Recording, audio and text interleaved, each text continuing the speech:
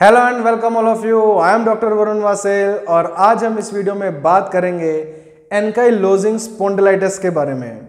Ankylosing का मतलब होता है फ्यूजन होना स्टिफ होना और स्पॉन्डिलाइटिस का मतलब होता है कि इन्फ्लामेशन ऑफ़ वर्टिब्रा ऐसे स्पाइन का वो जब इन्फ्लामेटरी रिस्पॉन्स मिलता है और वो फ्यूज होने लगती है, उसको हम बोलते हैं एनकाइलोजिंग स्पॉन्डिलाइटिस और आज हम इस वीडियो में बात करेंगे ऐसी फोर बेस्ट एक्सरसाइजेज की जो एंकलोजिंग स्पोंडलाइटिस के पेशेंट को रोज़ करनी चाहिए ताकि वो अपनी स्पाइन की स्टिफनेस से और उसकी पेन से बच सके। तो इस वीडियो को लास्ट तक ज़रूर देखिए। तो चलिए सबसे पहले देख लेते हैं कि एंकलोजिंग स्पॉन्डिलाइटिस होता क्या है और ये कैसे शुरू होता है। सबसे पहले साइनोवाइटिस होता है हमारी बॉडी में जितने साइनोवल फ्लूड साइनोवल जॉइंट्स हैं। अब जैसे सेक्रोइलिक जॉइंट है, यहाँ पे हम साइनोवाइटिस होता है तो उसकी इन्फ्लामेशन शुरू हो जाती है। साइनोवाइटिस होता है कि साइनोवल मेम्ब्रेन की इन्फ्लामेशन होना। तो इन्फ्लामेशन के बाद वहाँ पे फाइब्रोसिस हो जाता है। फाइब्रोसिस एक हीलिंग का पार्ट है, जो स्टिफ होने लगता है हार्ड होने लगता है। अब फाइब्रोसिस के बाद वहाँ पे कैल्सिफिकेशन और ओसिफिकेशन होने लगती है। अब यहाँ पे एंथीसिस होते हैं एंथीसिस होते हैं जैसे कहीं लिगामेंट्स हैं टेंडन्स हैं जो बोन के साथ जहाँ के पेरियोस्टियम के साथ अटैच होते हैं, उन प्लेसेस को हम एंथीसिस बोलते हैं, जहाँ पे लिगामेंट्स होते हैं। अब इसी ऑसिफिकेशन और कैल्सिफिकेशन और ये फाइब्रोसिस के प्रोसेस की वजह से यहाँ पे एंथीसोपैथी होती है। एंथीसोपैथी का मतलब होता है न्यू बोन फॉर्मेशन जहाँ पे लिगामेंट है। अब लिगामेंट जो है, वो स्ट्रक्चर है, वो बोन की शेप लेने लगता है, इतना हार्ड और स्टिफ होने लगता है। उसको हम एंथीसोपैथी बोलते हैं, जब लिगामेंट हमारा हार्ड होने लगता है स्टिफ होने लगता है। तो एंथीसोपैथी इस पूरे प्रोसेस को बोलते हैं और उसके बाद होती है न्यू बोन फॉर्मेशन अब जैसे हमारा वर्टिब्रा है, उसके आगे एंटीरियर लॉगिट्यूडनल लिगामेंट पड़ा है, पीछे पीएलएल पोस्टीरियर लॉगिट्यूडनल लिगामेंट पड़ा है। अब ये जितने लिगामेंट्स हैं, ये फाइब्रोसिस की वजह से ओसिफिकेशन की वजह से, ये बोन की शेप लेने लगते हैं। इसको हम सिंडेस्मोफाइट्स भी बोलते हैं, जैसे हमारे एनुलस फाइब्रोसिस है, वो भी हार्ड होना शुरू कर देता है और उसके ऑस्टोफाइट्स बन जाते हैं, इसको हम सिंडेस्मोफाइट्स बोलते हैं। तो यही प्रोसेस होता है कि जब लिगामेंट वो हार्ड शेप लेने लगता है तो एक बेम्बू स्पाइन बन जाती है। यही एनकलोजिंग स्पॉन्डिलाइटिस में होता है। इसके एक्सरे में भी मैं आपको दिखाऊँगा कैसे दिखता है। ये बेम्बू स्पाइन बन जाती है बिल्कुल, क्योंकि हार्ड सर्फेसिस हैं, जो लिगामेंट्स थे, जो फ्लेक्सिबल थे, वो अब चीज़ बोन बनने लगती है हार्ड होने लगती है। तो एक बेम्बू स्पाइन बन जाती है, जिसमें बिल्कुल स्टिफ हो जाती है और फ्यूज होने लगती है। तो यही स्टार्ट होता है हमारा एनक्लोजिंग स्पॉन्डिलाइटिस अब नेक्स्ट इंपॉर्टेंट बात आती है कि हमें कैसे पता लगेगा कि इसको अगर बैक पेन और सेक्रोइलेक ज्वाइंट का पेन है तो एनकलोजिंग स्पॉन्डिलाइटिस का ही पेशेंट है। तो सबसे इंपॉर्टेंट चीज़ होती है, इसको स्वियर पेन होती है ऐसे पेशेंट को सेक्रोइलेक ज्वाइंट में और लो बैक पेन में, क्योंकि लो बैक में बहुत ज़्यादा स्वियर पेन होती है। और ऐसे पेशेंट की एज कॉमनली 15 टू 40 इयर्स होती है और इसमें सबसे इंपॉर्टेंट चीज़ होती है H L A B twenty seven ये टेस्ट हम ज़रूर करवाते हैं जब भी हमें एनकलोजिंग स्पॉन्डिलाइटिस का डाउट होता है। तो H L A B twenty seven ऐसे पेशेंट का हमेशा पॉजिटिव आता है और ये हेरिडिटी होता है। कई लोगों को मतलब 80 परसेंट चांस ये है कि हेरिडिटी अगर किसी को फैमिली में है तो उसको H L A B twenty seven उसका पॉजिटिव आता है और एनकलोजिंग स्पॉन्डिलाइटिस होता है। और ये मोर कॉमन होता है मेल्स में। फीमेल से ज़्यादा ये मेल्स को अफेक्ट करता है और इसमें और भी चीज़ें होती हैं, जैसे एक्स्ट्रा स्पाइनल भी होता है, जैसे हमें आईराइटिस आईज का प्रॉब्लम भी हो सकता है, ऐसे पेशेंट को अल्सरेटिव अल्सरेटिव कोलाइटिस भी होता है और पेरिकार्डाइटिस भी हो सकता है। तो ऐसे पेशेंट्स को अदर दैन स्पाइन के पेन के फीचर्स भी होते हैं, जैसे और भी चीज़ें होती हैं। तो ऐसे पेशेंट में हमें ये चीज़ें ज़रूर चेक करनी चाहिए स्पेशली ये H L B twenty seven positive है कि नहीं तो इसी से हमें पता लगता है। तो चलिए अब चलते हैं एक्सरसाइजेज की तरफ़। एनकालोजिंग स्पोंडलाइटिस वाले पेशेंट का जो चीफ फीचर है, वो है उसका पोस्चर जो फॉरवर्ड और काइफोटिक पोस्चर होता है। ऐसे ही उसका जो नेक का पोस्चर है, वो फॉरवर्ड हेड होता है। क्योंकि आगे को झुका रहता है पेशेंट क्या, क्योंकि उसके आगे जो लिगामेंट्स हैं वो बोन में चेंज हो रहे हैं और स्टिफ हो रहे हैं फ्यूज़ हो रहे हैं। तो इसलिए इसके जो पेशेंट है, उसका टिपिकल पोस्चर इस तरह से रहता है। तो हमने अब उसी तरह उसकी स्पाइन जो स्टिफ स्पाइन है, उसकी एक्सरसाइज आपको बताते हैं हम कैसे शुरू करनी है, क्योंकि उसको अगर आगे झुकेगा तो उसको ब्रीदिंग में भी बहुत प्रॉब्लम होती है, क्योंकि उसकी चेस्ट एक्सपेंशन पूरी नहीं हो पाती। तो हमने ब्रीदिंग पे भी ध्यान देना है। तो ज़्यादा से ज़्यादा हमने ओपन चेस्ट और बाद साथ ही साथ अपनी स्पाइन को उसकी स्ट्रेंथ और फ्लेक्सिबिलिटी देनी है। तो चलिए देखते हैं हमने सबसे फ़र्स्ट एक्सरसाइज जो सबसे पहली एक्सरसाइज कैसे करनी है, उसमें पेशेंट ने इस तरह से सीधे लेट जाना है। वैसे तो ऐसे पेशेंट को लेटना और उठना बहुत मुश्किल होता है तो टमी टक में आप मेरा वीडियो ज़रूर देख लें। उसमें आपको पता लग जाएगा कोर स्ट्रेंथ के लिए कैसे काम करना है। तो इसमें सबसे ज़रूरी होता है सबसे पहले पेशेंट ने जब भी लेटना है सीधे तो उसने लेग्स फोल्ड करके लेटना है, क्योंकि सेक्रोइलियक जॉइंट है।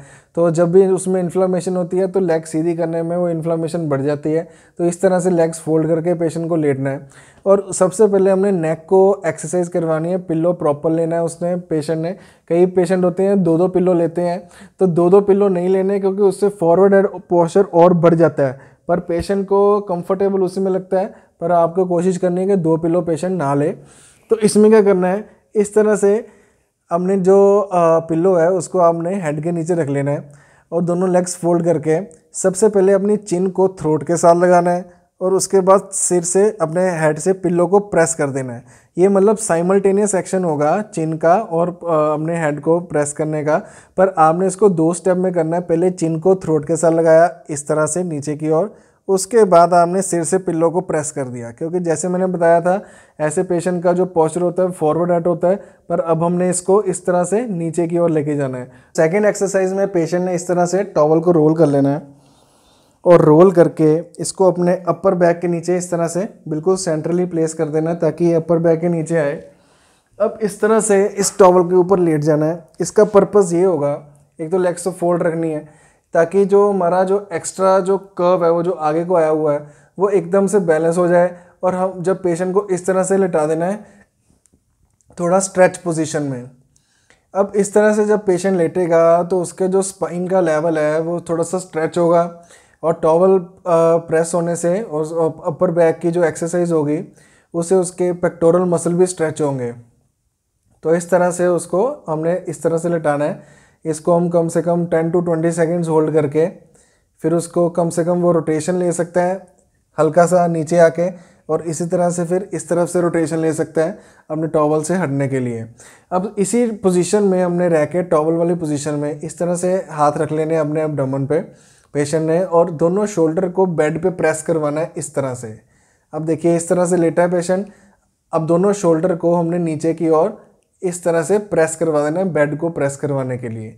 तो ये थी हमारी सेकेंड एक्सरसाइज तो अब चलते हैं अपनी थर्ड एक्सरसाइज की तरफ़। इसमें पेशेंट ने अपने दोनों हाथों को इस तरह से सिर के पीछे रख के, सिर के नीचे इस तरह से रख के, दोनों लेग्स फोल्ड करके, एक लेग को दूसरे के ऊपर रख के, अब रोटेशन करनी है हमने, क्योंकि रोटेशन बहुत इंपॉर्टेंट रोल प्ले करती है हमारी स्पाइन मूवमेंट्स में। अब जिधर को हमारा ये पैर जा रहा है, उधर को हमने अपनी बॉडी रोटेट करवा देनी है इस तरह से। अब ये रोटेशन जो है, ये पेल्विस को स्टेबल रखती है और पूरी स्पाइन तक हमें रोटेशन फील होती है। इसी तरह से वापस चले जाना है। अब दोनों हाथ पीछे रखने का बेनिफिट ये होता है कि हमारे जो पेक्टोरल मसल हैं, वो भी स्ट्रेच हो रहे हैं। अब इसमें पेशेंट क्या कर सकता है? किसी की हेल्प भी ले सकता है ऐसे हाथ रखने के लिए। अब दोनों हाथों, अपने एल्बोज़ को स्टेबल करने के लिए किसी की हेल्प भी ले सकते हैं ताकि वो पूरा स्ट्रेच हो और पूरी स्टेबिलिटी हो। उसके बाद वो पूरा इस तरह से रोटेट हो सके। तो इस तरह से हमने ये रोटेशन करनी है अपनी स्पाइन की। कुछ लोग इस तरह से दोनों लेग्स को फोल्ड करके सिंपल इस, ये वाली रोटेशन करते हैं। इसमें उनकी सिर्फ़ हिप रोटेट होता है, ज़्यादा रोटेशन स्पाइन तक पहुँच नहीं पाती। तो इसलिए पेल्विस को स्टेबल करने के लिए एक लेग फोल्ड करके उसको ऊपर रख के तो ये रोटेशन ज़्यादा बेटर होती है स्पाइनल मूवमेंट्स के लिए। तो अब चलते हैं अपनी फोर्थ एक्सरसाइज की तरफ़। ये एक्सरसाइज स्ट्रेंथ भी देती है और अपने कोर मसल को स्टेबल भी करती है, जो कि पेशेंट के लिए बहुत ज़रूरी है। ये एक्सरसाइज है सुपरमैन एक्सरसाइज इसमें पेशेंट ने इस तरह से दोनों नीज़ पे और दोनों हाथों पे रहना है और ऑपोजिट आर्म और लेग को इस तरह से रेज करना है। अब इसमें एक ध्यान रखना है कि पेशेंट ने अपनी नेक को ऊपर नहीं करना, क्योंकि इसमें हमने नीचे ही देखना है, ताकि नेक एक्सटेंशन में ना जाए। और इस तरह से हमने ऑपोजिट आर्म और लेग को फाइव फाइव सेकेंड तक होल्ड करना है, उसके बाद वापस ले ले जाना है। और जो अपनी नीज़ को ओपन करना है, वो शोल्डर विड्थ हैंड विड्थ के पार्ट रखना है। और इसी तरह से ये वाली लेग ऑपोजिट आर्म और लेग को इस तरह से ऑल्टरनेटली हमने उठाना है। और लेग को बहुत ज़्यादा ऊपर नहीं उठाना है, एक स्ट्रेट लाइन में ये पोस्चर होना चाहिए।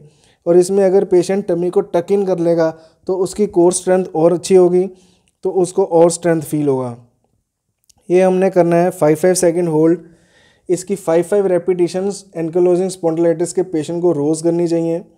वैसे तो ये एक्सरसाइजेज पेशेंट को रोज़ करनी चाहिए।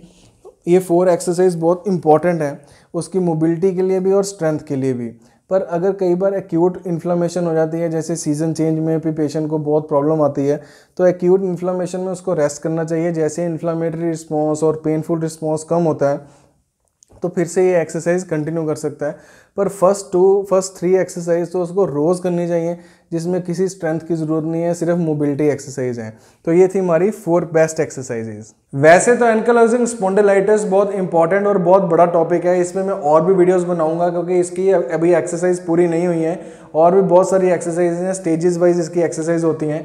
ये मैंने एक बेसिक आइडिया दिया है बेसिक एक्सरसाइज बताई है, जो एनकलोजिंग स्पॉन्डिलाइटिस वाले पेशेंट को, अपनी स्पाइन को हेल्दी रखने के लिए रोज़ करनी चाहिए।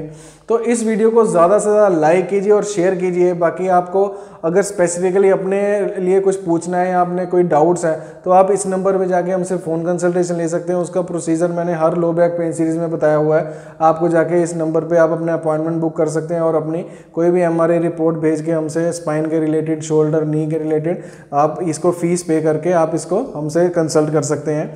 तो इस वीडियो को ज़्यादा से लाइक कीजिए शेयर कीजिए और हमारा Facebook page Sukoon physical therapy भी ज़रूर लाइक कर लीजिए। इस पर भी हमारे अब डेली अपडेट्स आते जाते हैं, क्योंकि अगर आपका कोई हमारे चैनल में से पुराना वीडियो मिस हो गया है तो यहाँ पे हम सारे वीडियोस अपलोड कर रहे हैं। इसको ज़रूर लाइक कर लीजिए और साथ ही साथ हमारा इंस्टाग्राम पे है हमारा जो पेज है, उसको फॉलो ज़रूर कर लीजिए। उसका है सुकून डॉट फ़िज़िकल डॉट थेरेपी तो ये दो काम आप ज़रूर कर लीजिए। साथ ही साथ इस चैनल को सब्सक्राइब ज़रूर कर लीजिए, क्योंकि इसका एक भी वीडियो मिस करने वाला नहीं है। Have a nice day take care of yourself